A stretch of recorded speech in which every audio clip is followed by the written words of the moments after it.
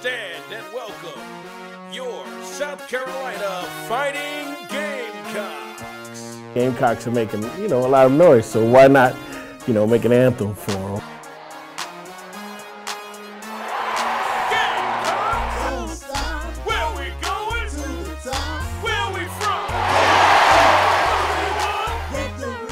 This season has been full of victories for Dawn Staley and the number one ranked South Carolina Gamecocks. Staley and company currently have a 27 1 record this season, and on Sunday they were crowned SEC champions once again.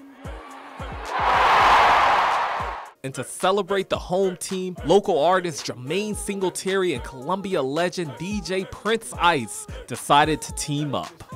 When you listen to the chant, the chant goes Gamecocks. Don't stop. Where we going? To the top. Where we from? SC. What do we want? Victory. Yep. Says it all for the girls basketball team. Exactly. Definitely. The duo have made songs together celebrating South Carolina teams for several years, and with the success of the women's basketball team this season, they felt it was necessary to collaborate on another track.